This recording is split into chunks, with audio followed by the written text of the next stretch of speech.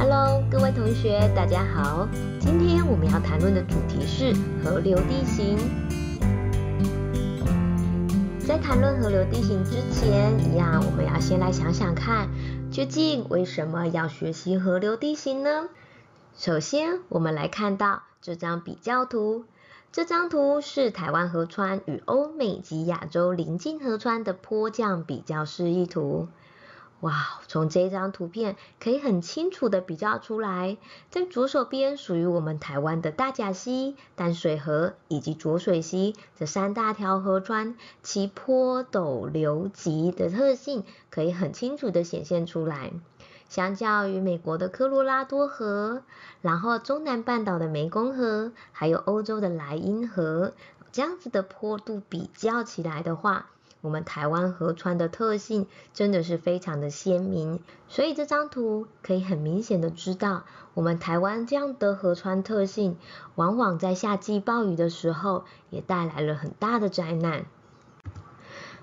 例如这张照片。这是八八水灾中被冲毁的台铁南回线太马里溪桥，这么陡的坡度，那这么大的水量，一冲下来之后，其实很多我们人为活动的建筑物，甚至我们居民的生命财产，都遭受到很严重的威胁。那这张图也是同时在八八水灾的时候，曾文溪堤防遭到大水的冲毁。那从这张照片我们可以看到，那个河道是非常非常宽广的。那在这么宽广的河道之中，你可以想象到说，哎，在暴雨来临的时候，其实它们全部都是洪水哦。所以可以知道我们那时候的降水量有多么的惊人。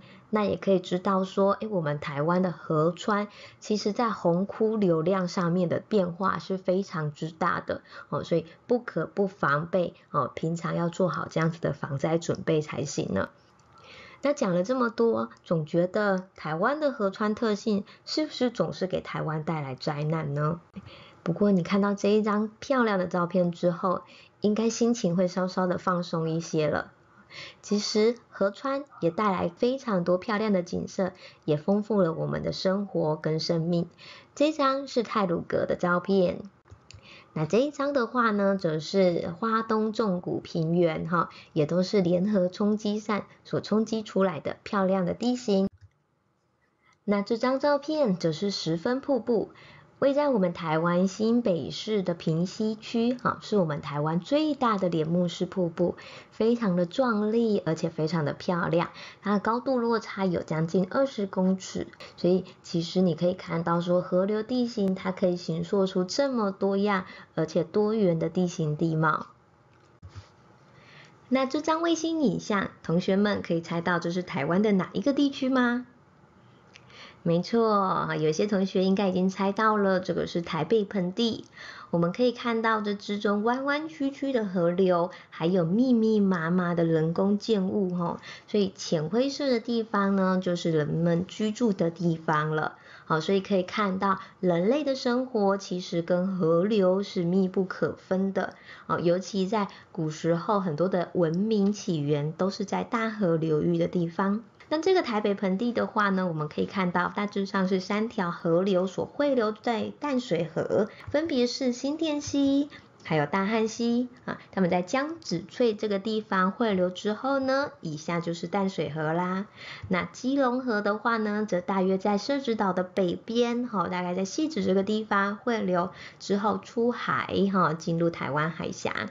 当我们发现说，哎，其实河流的周边就是人类生活的环境了，很多的冲积平原，哈，像我们台北盆地的话，这样子河流冲积地，其实就是人类最主要生活的地方，而地表上最常见的地形景观，也都是由河流而形塑而成的。所以，如果能够明了河流的地形，还有它的成因，才能够更有助于提升适应环境的能力啊，以及达到人类跟环境和谐共处的目标。那如果你想要对河流地形有更深一步的认识，就请继续看接下来的影片吧。我们下回见，拜拜。